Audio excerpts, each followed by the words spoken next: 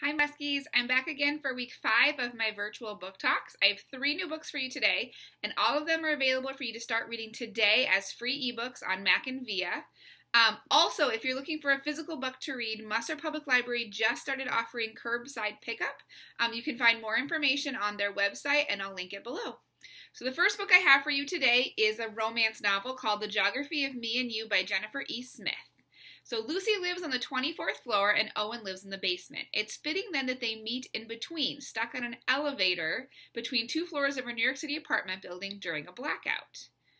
After they're rescued, Lucy and Owen spend the rest of the night together wandering around the dark streets and marveling at the stars over Manhattan. But once the power is back, they go back to reality. Lucy moves abroad with her parents, and Owen and his dad head out to the western United States. The brief time they spend together leaves a mark. As their lives take them from Edinburgh to San Francisco to Prague to Portland, Lucy and Owen stay in touch through letters and postcards, the occasional email, and phone calls. But can they, despite all odds, keep up a long distance relationship? So, this love story begins with a meet cute on the very first page, and it will keep readers engaged through the entire story. Um, readers who love Sarah Dessen's romance novels will especially love books by Jennifer E. Smith. Um, this really is a fun read, and if the weather gets warmer, this would be a great one for you to read by the pool or on a beach. The second book I have for you today is another narrative nonfiction. So, this is called Outcast United The Story of a Refugee Soccer Team That Changed a Town. It's by Warren St. John. So, this is actually the young people's version of an adult bestseller. Uh, Coach Luma Mufleh um, founded a youth soccer team comprised of children from Liberia, Iraq, Afghanistan, and elsewhere um, in the refugee settlement of Clarkston, Georgia. So, this brought the children together to discover their common bonds and to help them adjust to their life in the United States. So Luma Mufleh is a young Jordan woman, um, educated in the United States and working as a private coach for a youth soccer team in Atlanta.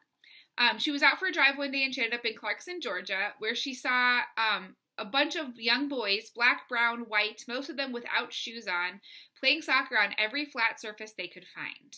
Uh, Luma decided to quit her job and to move to Clarkston and to start a soccer team um, that would soon defy the odds. Despite the challenges they faced, like no practice field, very minimal funding for um, equipment or uniforms, and zero fans on the sidelines because a lot of the parents of the students had to work on multiple jobs to survive. Um, the refugees practiced hard and demonstrated a team spirit that drew admiration from referees and from others in their field. So, Outcast United, this book explores how a community changed with the influx of refugees, um, but also how the dedication of this coach and the entire soccer team helped change the community.